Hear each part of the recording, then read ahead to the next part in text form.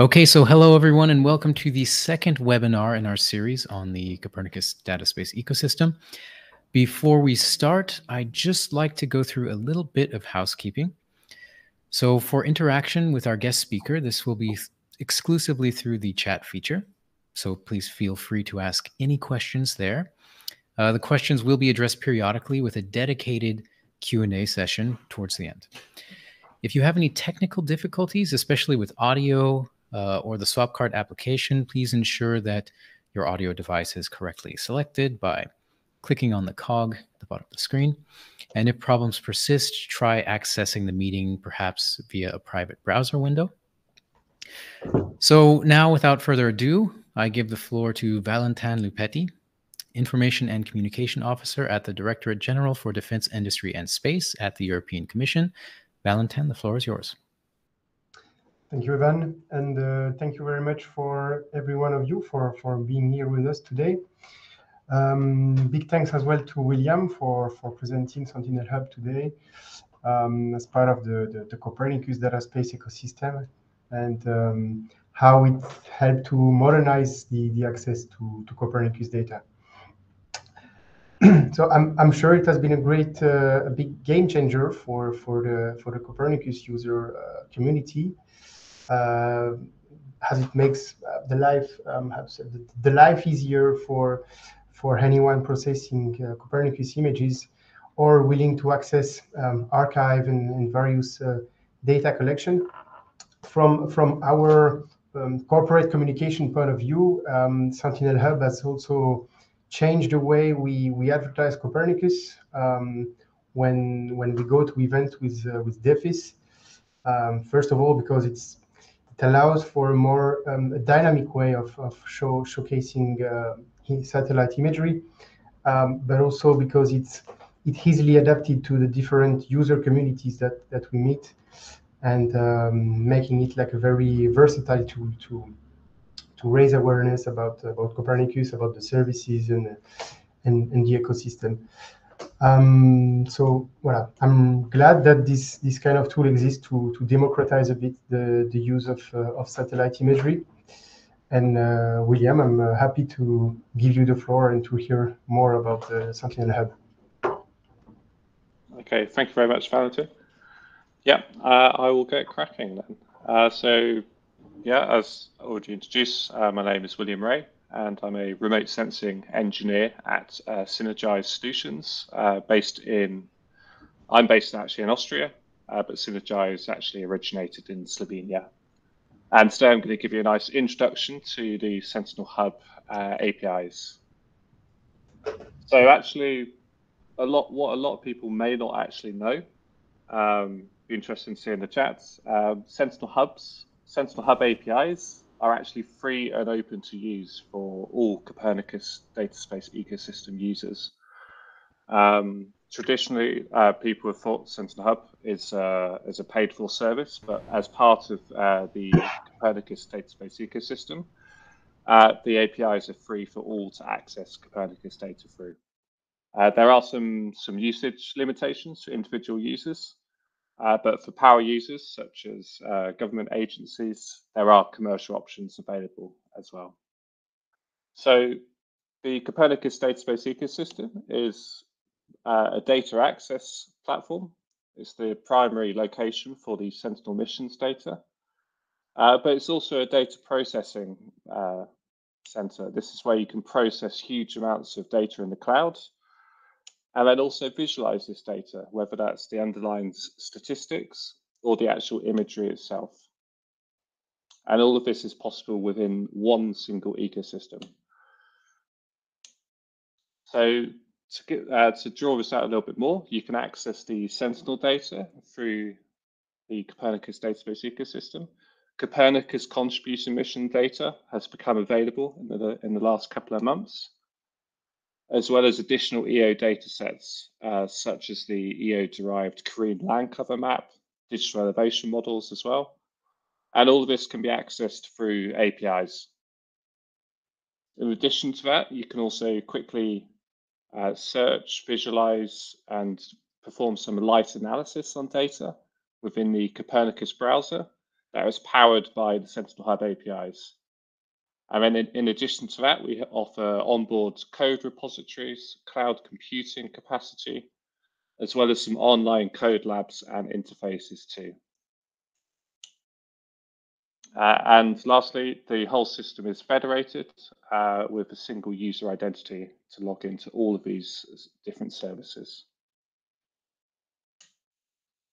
Uh, and just to reiterate, obviously, uh, since the Sentinel missions were first launched, um, I think eight years ago now, uh, uh, the uh, Copernicus data offering has become one of the largest in the world. So currently there's 64 petabytes of data available.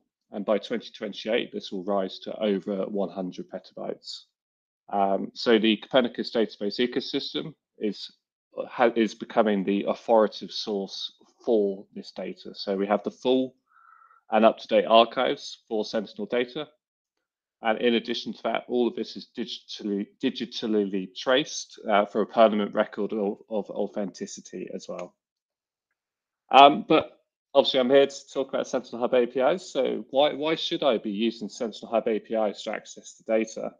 Why what's wrong with just downloading a, a Sentinel-2 granule, for instance? Um, so here I'm going to kind of argue the case why you should be adapting your workflows and migrating to using Sentinel Hub APIs with Copernicus data space ecosystem. So looking back at a more traditional approach to EO processing, uh, if you have a similar career path to me, probably back in 2014, you were you were used to downloading full satellite scenes. Uh, you probably are only interested in a specific area of interest, so you'd then clip your images You'd then maybe have to stack your bands, maybe reproject it. Um, and all of this, like you spent a lot more time actually processing data than actually analyzing it. Um, so some of the issues which I've I ran into, I'm sure you have too, is looking at what projection are my images in, like is my data optimized for cloud processing? All this gigabytes of data, what do I do with it? You can quickly fill up your computer with all the data you are downloading. Um, and as well as uh, additional factors, this kind of creates a very chaotic, tedious, but also costly workflow. Uh, made accessing EO data difficult for newcomers and even experienced uh, EO uh, analysts like struggle day to day sometimes. So the Sentinel Hub APIs make the Copernicus program satellite imagery accessible to the masses. So all the data is easily accessible to be browsed and analyzed through common APIs. Uh, and this data can then be downloaded, or the outputs can be downloaded to your local environment, or even streamed through a web application, such as the Copernicus browser. And all this means is you can quickly access the data without having to worry about how do I store the data? How do I process it? How do I read the metadata? How do I stack my sensor bands? All this is dealt with in the background. And this means that everyone can spend more time actually focusing on developing their algorithm or application. So to dive into the APIs, uh, I'm going to talk about three of our core APIs uh, this afternoon. Firstly, the Sentinel Hub Catalog API. Uh, this is an API that implements the STAC specification, which describes geospatial information about the different data sets that are used with Sentinel Hub.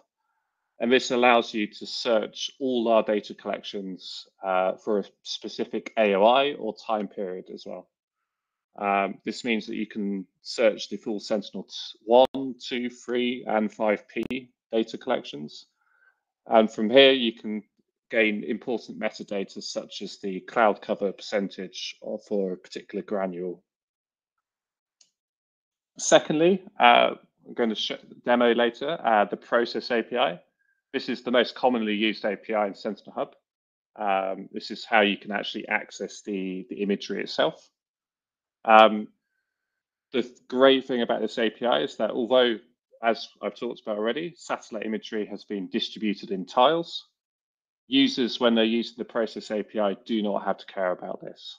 Uh, You still have a, a payload uh, going into your, into your API request. So your a time period you're interested in, your area of interest, the data sets, uh, and the kind of processing that you wish to do.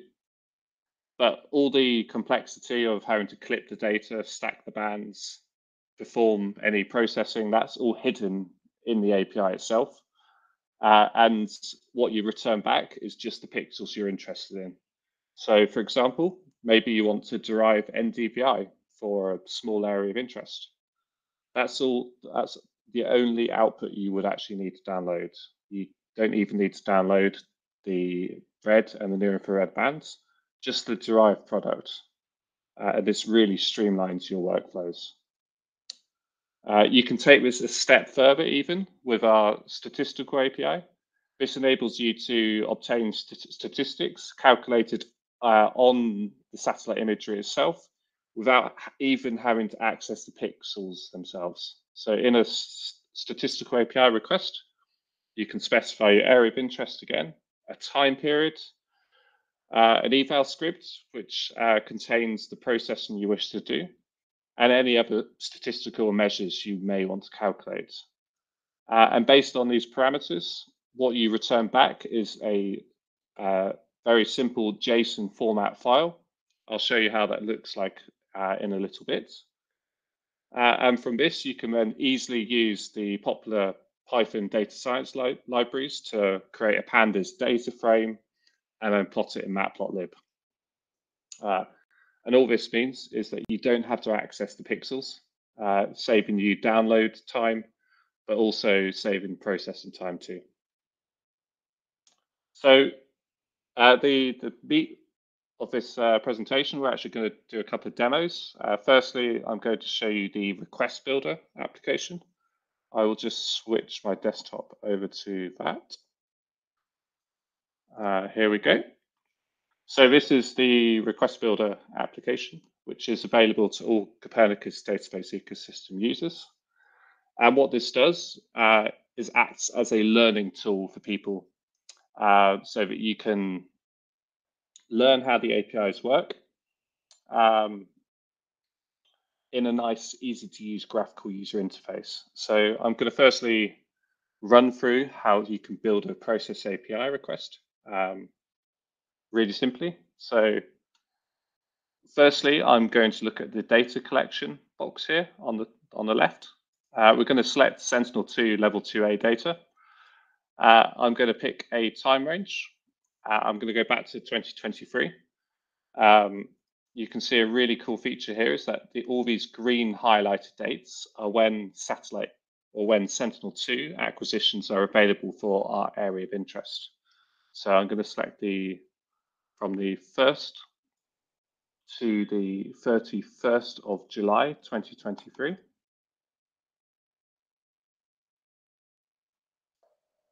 And we, uh, for my output, I'm going to leave it as it is for now. Um, but I will just expand my area to actually include a larger area of Rome.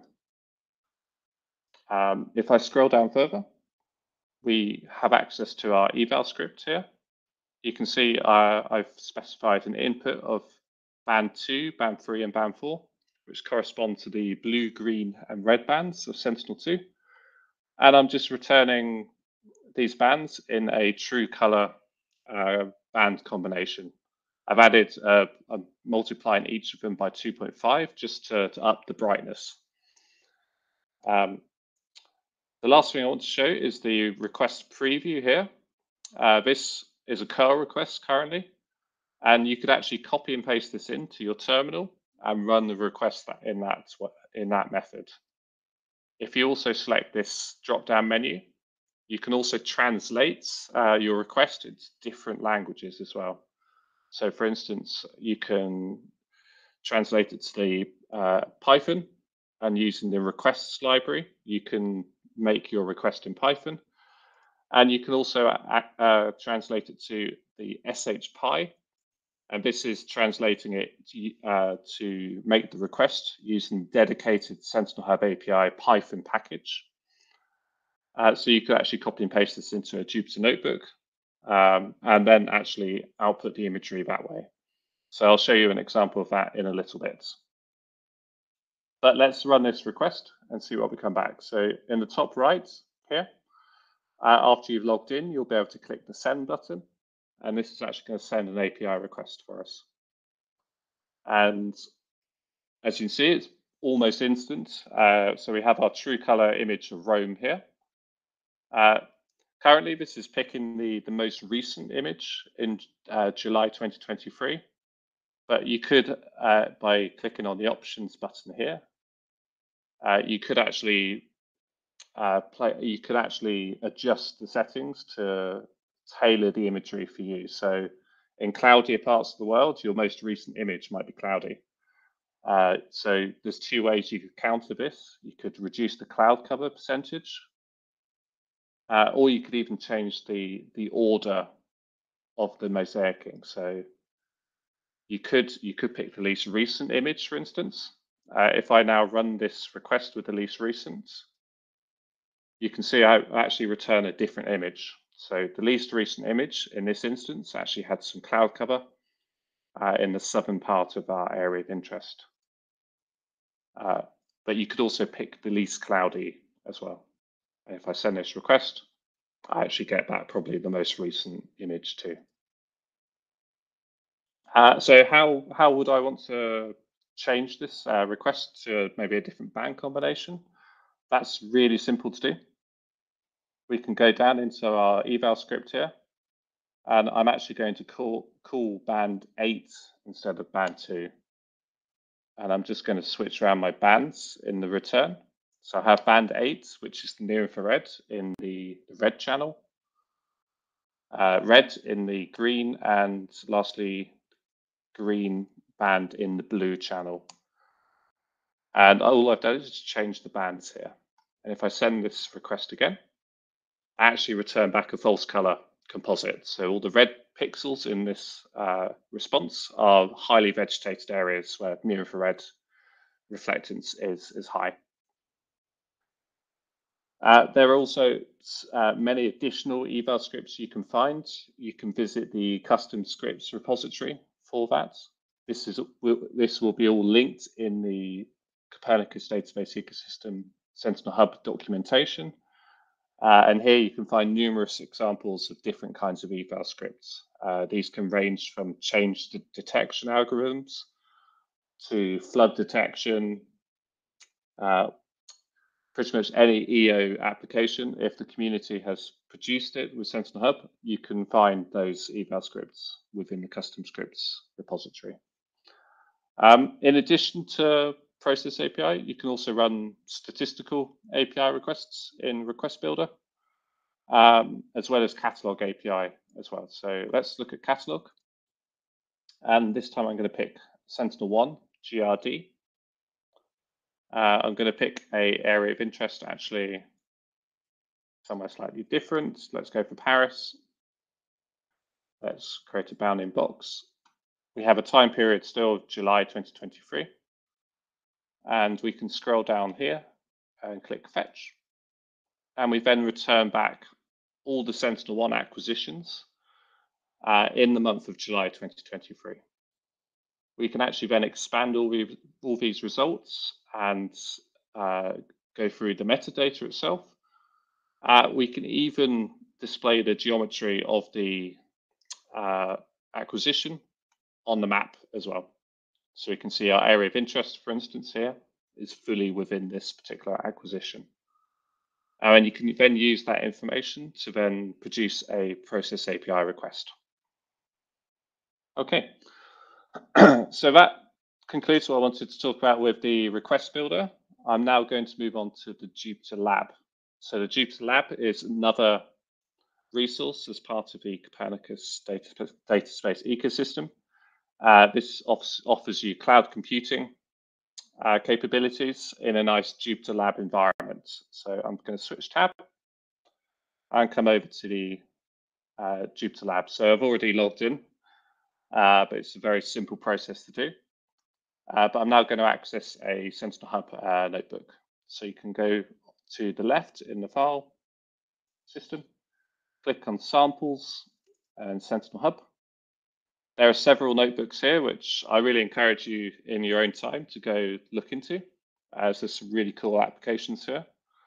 Uh, but I'm going to open up this introduction to SH APIs here.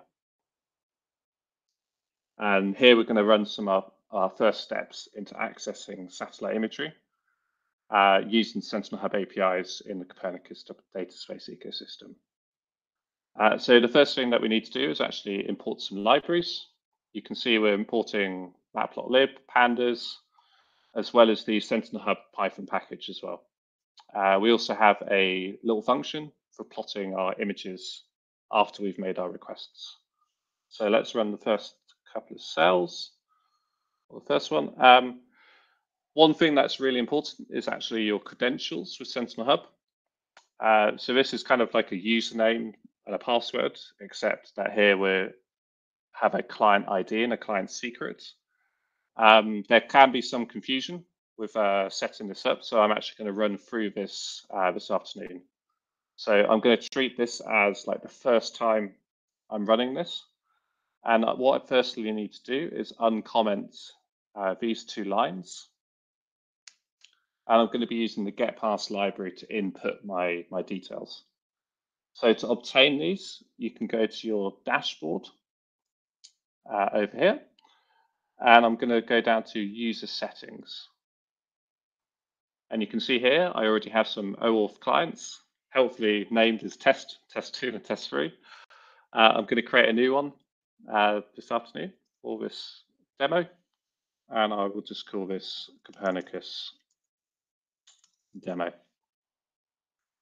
I can then simply just create, and this then creates a client ID and a client secret. So I'm going to copy my client ID first, go back to my notebook, and actually the first I need to also uncomment this line here. And I'm going to actually create a profile here which can be used uh, uh, in the future when I'm using this Jupyter Lab. Uh, this is useful if you're running this locally, uh, but this would be need to be regenerated each time you're using the uh, Jupyter Lab in the cloud. So I'm going to call my profile CDSE, and I'm now going to run this cell. And it prompts me to enter my client ID. I will copy that, copy that in, and then I'll obtain my client secret back from the dashboard as well. Okay, and now I'm all set up, ready to go. So first thing I'm going to do is actually set an area of interest. Here I have a AOI. Uh, it's in Southeast Austria. Uh, you'll see it in a little bit. First thing we can do actually is just quickly um, calculate how large our process API request will be in a little bit. So there is limitations with this API of 2,500 by 2,500 pixels, uh, but that's still quite a large area at 10 meters resolution. Uh, this limitation is just due to the constraints of cloud computing, uh, but there are options if you wish to uh, upscale your analysis which I will go into in the conclusion, conclusion comments. Uh, the first thing we can do is run a catalog API request. Uh, the first thing we can do is initialize the Sentinel Hub ca catalog class. And then we can actually build a request. So we're going to use our bounding box. In this instance, we have a time interval of 2022, the month of July. I'm searching Sentinel-2 level 2A data. And that's all we need to do. We have a few other parameters. There are lots of examples in our documentation you can copy and then adapt to your own use. And then all you need to do is run the cell. And you get back your total number of results, which is eight. And that means that we, we have some data that we can find when we use Process API. Uh, it's not like a, an essential step to do this, but it will save you maybe some debugging down the line if if your process API requests return kind of no data. Perhaps there is no data for you to actually obtain. So it's a good a good method to uh, to test before you actually request the actual imagery. So Uh, I'm going to show probably what's a very similar example to what we saw in Request Builder, uh, but I'll run a little bit more detail into the eval script itself. So firstly, we're going to return back a true color image. We have our eval script here. We have two functions. We have a, a setup function, which defines our inputs and outputs. So our inputs are just three bands, band two to four. And we also have an output that's just three bands. And you can see here, we're returning back the bands in the true color order. So about the red bands, the green band, and the blue band. We then have our request. Here we're calling Sentinel-2 level 2A again. Uh, and we've also added in a mosaicing order of least uh, CC here. Uh, and we have a time interval actually in May 2022. So let's uh, let's run this cell and a couple of the cells afterwards. And we're going to return back our image. So here we go. So simple as that. So it's still a slight request builder, absolutely instant. Um, we could play around here, maybe with the mosaicing order. And let's go for the least recent, for instance. Rerun our cells. And you can see we actually return back a, a quite hazy, hazy image. If we go for the, the most recent, we probably return back a different image again. Let's see. Uh, probably the same as the least cloudy, actually. So let's look at something a little bit more uh, advanced. We're going to look at how to visualize NDVI. So here, again, we have our eval script. You can see actually our inputs and outputs are slightly different this time. We're actually only calling band four and band eight, as well as a, a data mask. And our output is actually four bands this time. So a lot more is actually happening in the evaluate pixel function. The NDVI calculation is the first line. So here we've got uh, band 8 minus band 4 divided by the two bands added together. And then actually we have an image vals uh, variable. So this is actually an empty array. And what we're doing is based on the NDVI result, we then populate this with different shades of green.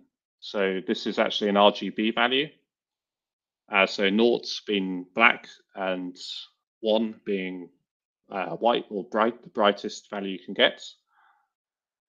And it's all based on, yeah, different shades of green. So we also have a the request body. This is actually the same as what we had previously, but we're just calling the NDVI eval script instead. So I'm going to run this cell and the cells afterwards. And you can see we return back uh, our NDVI image. Uh, we could manipulate this even further. So let's have a look at the final value here, which is the else image files is 0.27. I'm going to change this to naught. I'm actually going to change the red value to, let's say 0.9. And I'll run these cells again. And you can see actually what we've done is we've highlighted all the pixels that have an NDVI value of over 0.6 with red. So it's a really good way of highlighting the most vegetated areas in our area of interest. So lastly, I'm going to run through a, a couple of statistical API uh, examples. Um, what we're going to do is request and plot an NDVI time series firstly for a single field in our area of interest, and then actually plot two fields on the same plot in the second example. So there are a couple of changes to, to be aware of with statistical API. Uh, the default value of our sample type is actually float 32 now. This makes sense when we're dealing with uh, vegetation indexes where our values are uh, in decimals and ranging from minus one to one. Um, the for Process API, the default is UINT8, which makes more sense when we're visualizing data. Um, in addition to that, our outputs actually have to be explicitly defined.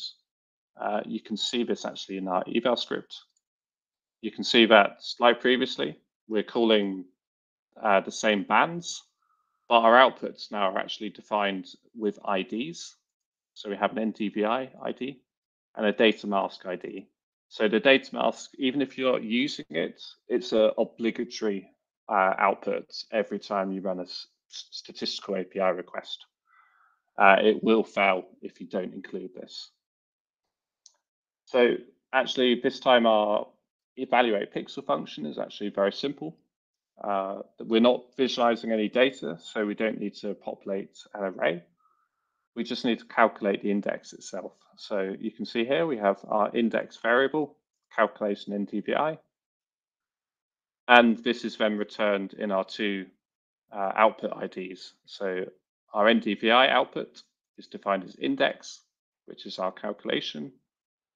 And the data mask is actually specified as samples.data mask.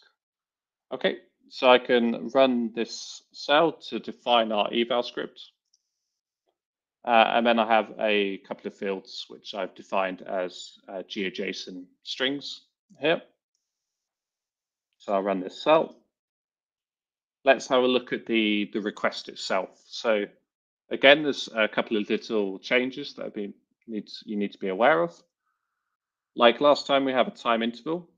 Uh, I've actually extended it here for from the start of April 2022 all the way to the end of August 2022. So we're looking at the full growing season here. Um, in addition to that, we have an aggregation interval. Uh, this is defined as P10D, and this actually refers to the number of days uh, in each in each interval within our time interval. So a good way to visualize in, this in your head is that you have our full time interval as a loaf of bread, and our aggregation interval is our slices of bread. So each of our time periods is 10 days. If you have a 100 day time period, that means you have 10 slices. Uh, as well as this, uh, we've actually added an additional data filter as well for maximum cloud coverage. So what we're doing here is we're actually excluding all images with over 10% cloudiness uh, in our request. Uh, that means that we can avoid any erroneous values. So NDVI will not perform well when there's cloud cover uh, because obviously it's not an expected land cover type. So let's run the request and probably push a little bit of time. Uh, our request comes back here as a JSON file. You can see it's not particularly useful to look at. Uh, it's quite hard to interpret anything. Um, but we've actually got some helper functions in, within our Jupyter notebook here, which we can run. Firstly, I can convert this to a pandas data frame. This makes the data a lot easier to read, especially for a machine. And we can actually then run the following cell, which outputs a plot in matplotlib and we can start to see a story developing where our field of interest, you can see the NDVI rising early in the growing season before declining kind of after probably mid mid June. Um, but to develop our story further, we can start comparing different fields. So we can run the same request again, but on our second field this time. And using this, we can then plot both on the same uh, graph. And here we can actually really start to perform some interesting analysis. We can see that we're probably looking at two different crop types or maybe two different land cover types, um, which is really useful information, uh, especially for decision makers maybe implementing EU policy such as the Common Agricultural Policy. Uh, so that kind of concludes the, the notebook I wanted to show you. So we've kind of, I've shown you how you can quickly access the imagery through Process API, visualize a vegetation index, and also use statistical API to start running some light analysis using the APIs. Uh, but I really want to emphasize this is kind of a real taster of what is what you're capable of uh, doing with Sentinel Hub APIs. Uh, and it's kind of limited to your imagination what you can do with them. Okay, so to conclude, I want to also talk about how you can scale up your workflow. So I alluded earlier that we also offer APIs that enable you to perform analysis on large timescales, but also large areas as well. And this is possible through the batch processing API. Uh, in addition to that, you also have the batch statistical API, which enables you to analyze thousands of fields at a time. So running what we've just seen in the Jupyter Notebook, but running this for yeah thousands of fields in one request. Uh, and use cases for this could be monitoring fields on large scales with Sentinel imagery. Uh, and what this does is power applications like the Copernicus browser uh, and also numerous other ones as well. Um, so that kind of concludes what I want to say uh, today. So thank you very much for, for listening. Um, I guess we can go into the questions now. Yeah, so we do have some questions in the chat. Uh, I'm just going to start maybe at the uh, the first one here. Uh, so Manuel uh, Campagnolo, he has asked if you can at some point compare Sentinel Hub and Google Earth Engine in terms of available computational resources and speed. Okay, that's a, that's a very good question, and yeah, been asked it before. Um, for sure, it's a comparison that we we should run at some point. Um, but I think for me, um, Google Earth Engine and the Sentinel Hub APIs are arguably quite different, quite different beasts. Um, in that they come up with, or they end up with quite a similar product, but they do perform very differently. Uh, Google Earth Engine is very much a closed ecosystem where your data is uh, very much stored in like the Google environments, whereas the Sentinel Hub APIs are very much compatible with you downloading your your product and then can maybe even continuing your analysis. Maybe you need to perform some vector-based analysis uh, locally as well. Uh, but for sure, uh, it, personally as well, for me, it'd be very interesting to compare the performance of the, the two different services. As for com computational power, uh, both offer commercial offerings, um, but I'm not familiar enough with the Google Earth Engine offering that I can make a comparison today, for instance. Okay. Thank you. And uh, the next question comes from Pier Lorenzo Marasco. He asks if Sentinel-2 tiles have an overlapped, well, Sentinel-2 tiles have an overlapped area over different tiles. How is this managed? Are you using the same approach as Element 84's cloud optimized GeoTIFF tiles? How is this done? Okay, that's a very good question. Um, so what will happen by default with the API is that it will pick the most recent acquisition if there are two tiles which overlap. Uh, so um, I haven't got a specific example in my head, but say if one image was collected at 10 o'clock in the morning and the overlapping image was collected on at 10.30 in the morning, the image collected at 10.30 would be the one used uh, by default. But there are some advanced options with uh, tiling with Sentinel Hub APIs uh, documented in the Copernicus data space ecosystem docs where you can customize this a little bit. So, for instance, you could uh, tailor your request to only use one acquisition per day. Um, uh, and within your eval script, you can even hard code in uh, specific time time periods so that you get the image that you want. Okay, perfect. Thank you. Moving on to the next question. So there are a couple here from Peter Kongstad. So his first is, is Sentinel 1 RTC analysis ready data? It has been previously paid to use as far as he understands. Is it still paid to use?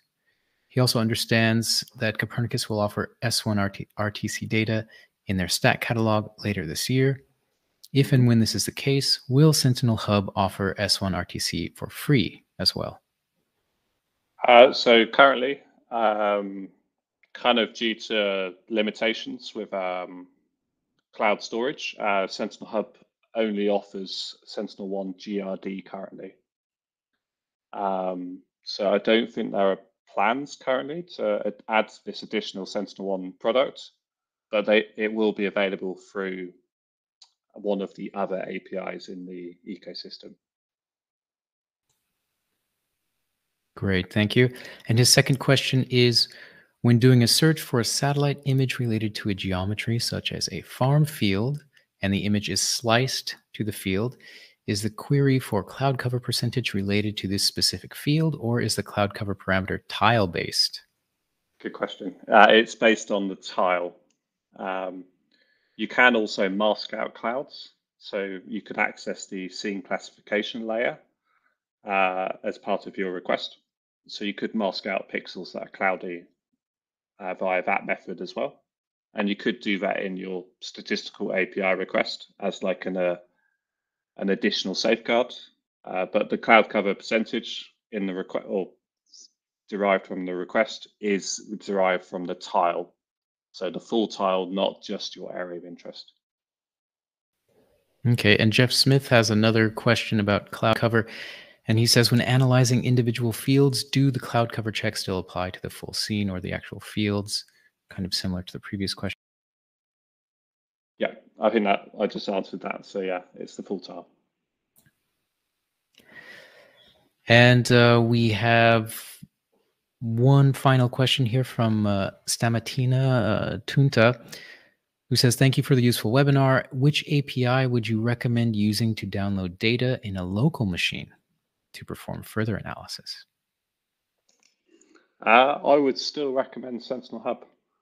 Um, I, am probably not familiar with your specific application. Uh, but for me, even if you wanted to, to still derive NDVI on your local machine, I think it makes much more sense to only download the pixels you need, whether that's for your AOI, which is probably much smaller than a Sentinel scene, but also just to download the bands you need.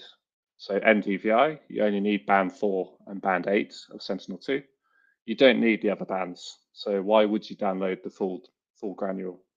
It's a whole gigabyte of data, whereas a Sentinel Hub request, you're looking at megabytes instead. Yeah, and I think uh, I think this brings me to well, that's the end of the questions. But then I had just a, a remark here. Maybe you can you can help the audience. It can be really hard to adapt to new tools and ways of working, and some people are used to working locally. So, what do you recommend, or what do you think is the best way for people to get started and adapting their processing workflows to CDSE?